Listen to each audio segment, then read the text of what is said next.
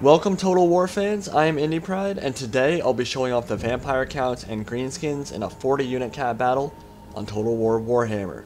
I'll be honest, I really enjoy playing larger funds battles on this game more than the default funds. I feel like with all the expensive monster units and artillery in this game, it's really hard to field a composition that looks like a proper army. When you boot the unit cap up to 40 for each player, it lets you round out your army build and take the units and the monsters that make Warhammer so awesome. So at least for the cinematic side of things, the bigger battles just look better, in my opinion.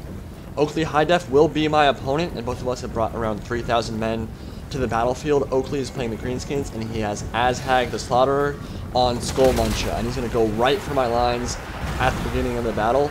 And really, this is not the way you want to be using wyverns or dragons in this game. He's going to go for my very low-tier cheap meat shields, kind of unsupported. And I'm going to drop Spirit Leech with Mannfred von Carstein, which is a single target DPS spell that, from what I've seen, generally does around one-third of an enemy Legendary Lord's health pool. So Oakley is going to be pulling out of that engagement, and honestly, he's already taken some damage on his Lord that he really didn't need to. Greenskins need their Lord to be effective in combat, and they need him for the leadership buff. So he's dropping Purple Sun of Xarius in the background there. You see that Vortex spell going off. It looks really impressive, but like I think I've already mentioned it so far, a lot of these Vortex spells are pretty underwhelming.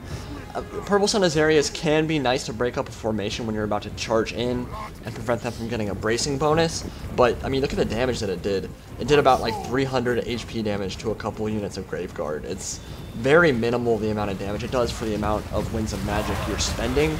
So, so far I think the single target DPS spells are a much better investment of your Winds of Magic, and of course the buffs are quite good, as well as you saw in my last replay with the Lore of Metal and Balthazar Gelt.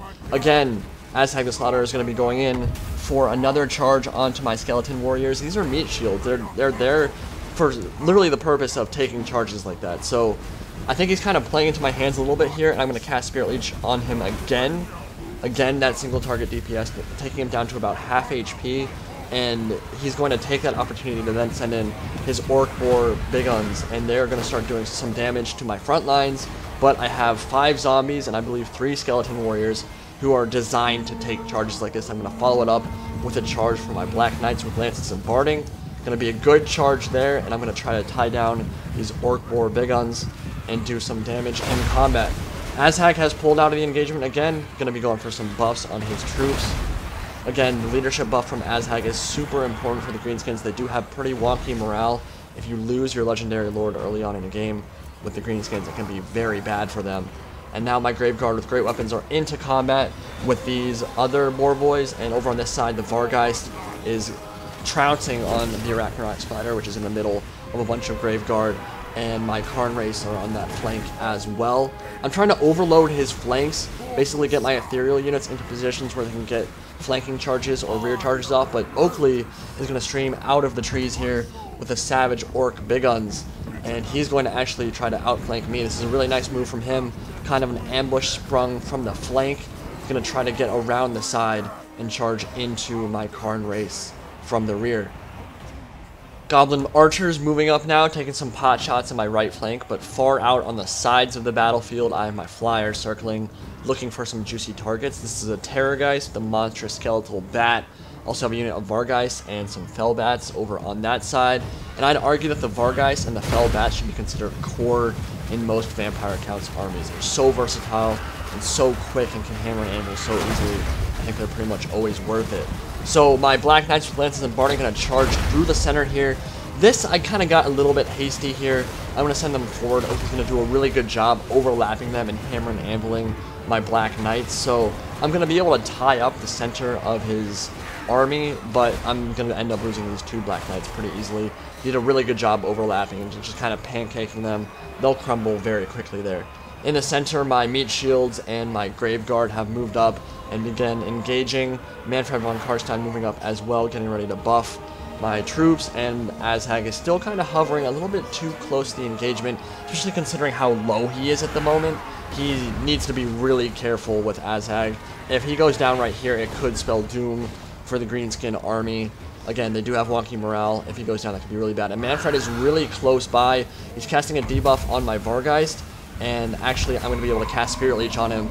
He's going to pull away from the engagement, but you saw how low his health was I don't think he's going to be able to pull away and survive that Spirit Leech. And actually, he is going to go down. And that is really bad for the Greenskin army. That's going to send a big morale shock rippling down his main line. You need to be careful with your Legendary Lords in this game. They're tanky and they're survivable as the Vargheist come in for a massive Hammer and Anvil. Oh my god, that was so scrumptious. But and, and honestly, legend, legendary lords can do a lot of damage, but if you notice constant hexes getting placed on your lord, or if they're too deep into combat, it's time to move him further away so your lord doesn't go down, because if they do, as a greenskin or a vampire counts player, your army's going to fall fall to pieces really quickly. Just saw the Wight King and the Varghulf chasing off some of his routing troops. They will start coming back and filtering back into combat, but they are going to have that morale debuff on them for the rest of the battle. It's going to make it hard for him to win. The Cairn are in there. They cause fear. They're ethereal. They're very tanky. He doesn't have any magic from Skullmuncha and Azhag anymore to get rid of those ethereal units very easily, so he's going to have to rely on crumbling with flanking attacks. And with a lot of his mainline routing, it's going to be very hard. I actually did forget to put Mannfred on a zombie dragon this battle. I had meant to. I just forgot about the mount, so he's going to be dismounted. And it's actually not a bad thing I've been able to keep him far back and protected very well by my main line. Over on this side, Wraiths moving in to get a charge off on some of his Savage Orc big boy, uh, blah, blah, blah, blah, the Boar Big Guns, and my Varghulfs are going to charge in there as well. And this is, again, going to be a tough engagement for him. He didn't really get a great charge off. Varghulf's going to start smashing things. Wraiths with that high armor piercing, going to be able to cut through the big guns quite quickly. Those are not Savage, by the way. They're just regular Boar Boy big guns. So yeah, I'm going to be winning on this flank. Balance bar definitely shifting in my favor. The Vargheist and the uh, Fell Bats are tied into combat. This is really not how you want to use them. You don't want to be engaging stuff in the front with them. They're more for hammer and anvils, using that mobility. But the Fell Bats are only 300 talents. They are extremely useful for their cost. They can meat shield, they can chase off flyers, really well. They can tie stuff down so that the Vargheists can get into combat. They're extremely good. I think they're they should be considered core for most anti-counts armies as well. The Wight King is in combat against some of his Black Orcs. He's going to be beasting up in melee here. And yeah, there's just a lot of routing on the Greenskin line at the moment. The Terrorgeist has finally gotten into combat, decided to commit him against some of the Goblin Spears. You can see that awesome animation where he kind of grabs a goblin and bites down on it, throws it up into the air, and tosses him side to side like a ragdoll. We'll probably get to see that a couple more times in this battle. Really cool animations on him. And yeah, the Terrorgeist is going to be able to tie up this whole flank very nicely while his goblins are shooting in. So I am going to make a little bit of a micro mistake here. I kind of lose track on my Vargheist. They're just going to keep getting shot by the Arc, the Orc Arrer Boyz. And I should have already had my Vargheist into combat here. They could make those Orc Boys route very easily. But yeah, the fell Bats in combat as well, doing some damage, and the rest of my army, the Grave Guard with great weapons, are moving up. And those were my core, and they have performed extremely well. I've just, in general, the games I've played so far, the great weapons are too good not to pass up.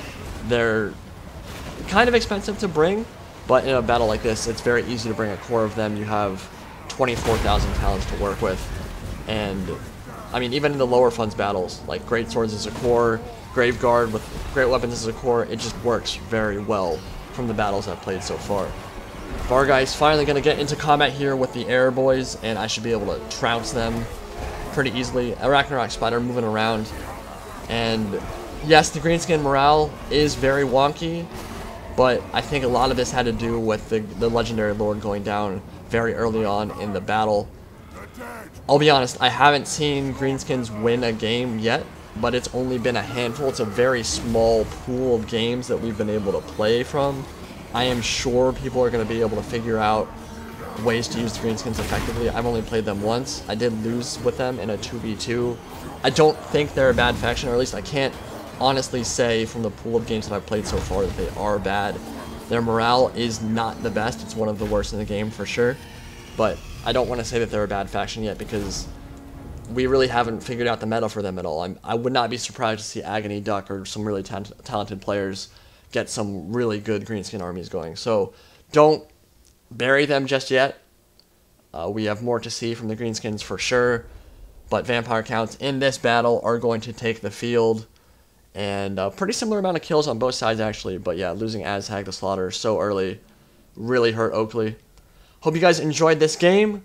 Much more Total War Warhammer content coming soon, and I have something very special planned for you guys over the next day or so. So hopefully that'll get done. I'll see you soon.